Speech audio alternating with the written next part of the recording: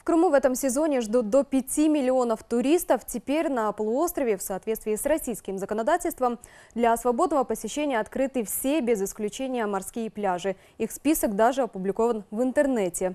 Это несколько сотен километров побережья на любой вкус.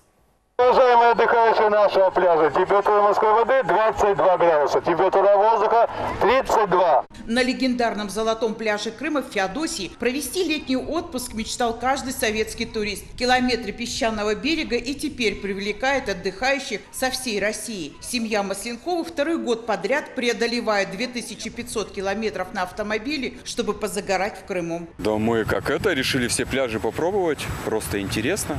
Вчера были, там дальше песок, здесь вот с камушками уже поинтереснее. Ну, дальше поедем. И таких, как Масленкова, в этом году здесь много. Отдых в основном начинается с Феодосийского берега. Выбор прежде всего географический. Просто он ближе всего к Керченской переправе. Уже в августе найти свободные лежаки и места под солнцем тут будет сложно. Мы уже видим наплыв туристов гораздо больше, чем в прошлом году. Связано это, безусловно, с тем, что переправа начала лучше работать. Туристы, безусловно, требовательные, но это нас устраивает. Мы готовы под них подстраиваться.